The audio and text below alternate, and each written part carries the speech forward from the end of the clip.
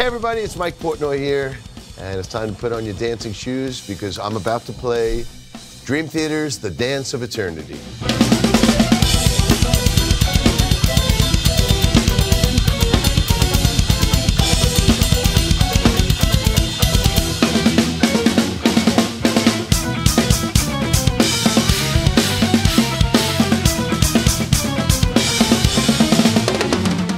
So, the Dance of Eternity is pretty universally agreed upon to be one of the most technically challenging things I've ever written. If you don't know the backstory, uh, on the Images and Words album, we had a song called Metropolis Part 1. For years and years and years, everyone was like, wow, when are you going to do a Metropolis Part 2? Long story short, we ended up writing a song called Metropolis Part 2. It turned out to be about a 20 minute epic when time came to begin the, the Falling into Infinity album, the label wouldn't let us put it on there. And uh, a few years later, Jordan Rudess joins the band, and we decided, okay, what is the first album we're going to make with him? And we decided, let's do a concept album, and let's take that original original Metropolis Part Two demo and expand it into a full-length album. So we ended up writing an entire, an entire album called Metropolis Part 2 Scenes from a Memory. Once we got to the center of the album, we decided we wanted to write the craziest instrumental we could possibly write, and this is what we came up with.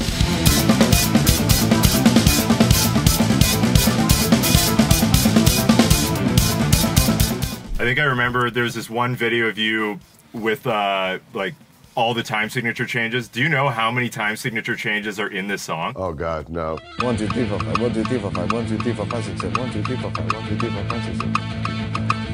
One, two, three, four, five, six, seven. One, two, three, four, one, two, three, one, two, three, one, two, three, four, one, two, three, one, two, three, one, two, three, four, five, six, seven. One, two, three, four, five, six, seven. I mean, this this song has so many twists and turns, and it's constantly going through all these different things, and some of them are are uh, callbacks or recalls to the middle of Metropolis. Uh, there's a section towards the end of the Dance of, Dance of Eternity where it's going,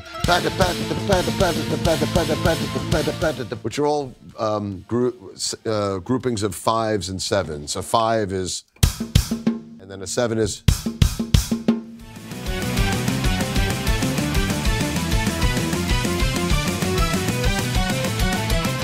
The entire Scenes from Memory album has all kinds of little nuggets like that and callbacks to the original Metropolis Part 1. But Dance of Eternity as an instrumental, we were able to really dig into it and get pretty clever.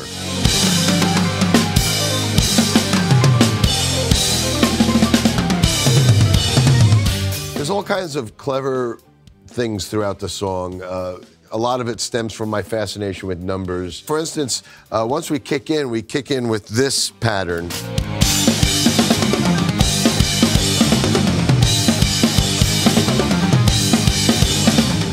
All that was was me coming up with something. Okay, we're gonna do two. And then now let's do three. Now let's do four. And then we come back to the, the number thing, but let's reverse it. So instead of going two, three, four, and then when we come back to it, we go four, three, two. So we go.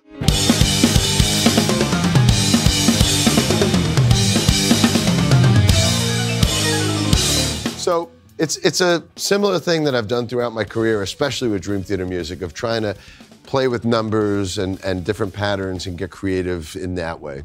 So before I play the entire Dance of Eternity for you, uh, you can check out the drum transcription as well as the drumless version in the link below.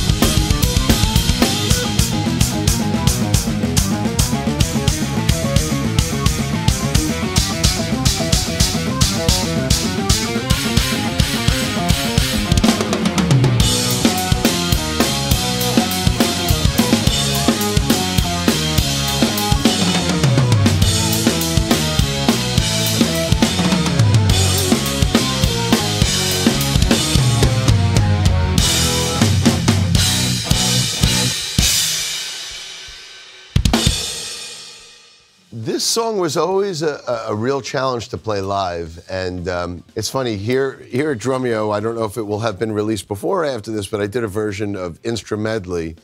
Uh, I played along to that, which was a live medley of instrumental sections, and there's bits and pieces of the Dance of Eternity in that. Uh, but that was a live version where the tempos were flying.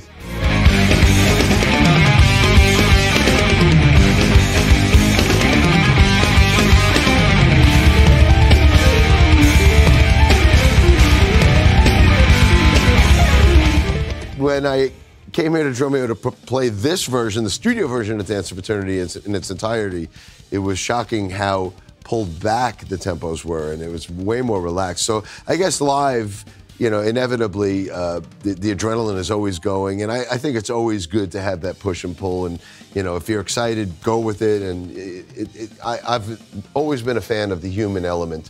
But yeah, this one was always a challenge, and it was always hard to pull back and let these parts breathe because it's so exciting. The adrenaline is just going when you get to this song in the set. Well, we survived.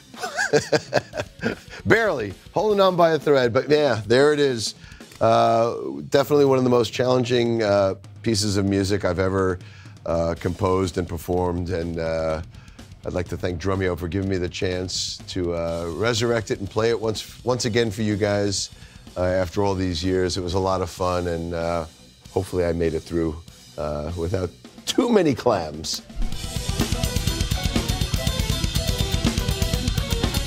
Hey everybody, it's Mike Portnoy here. Come along with me for a dance. No, uh, it's time to take a trip down the. No, what would be a clever thing? Put on your tap shoes and prepare to take a trip with me. No, I can't. Dude, it's so close. And uh, put on your dancing shoes because we're about to take a trip down the dance. Oh my God! Why? Why am I like? That would have worked. All right, It's gotta commit. all right.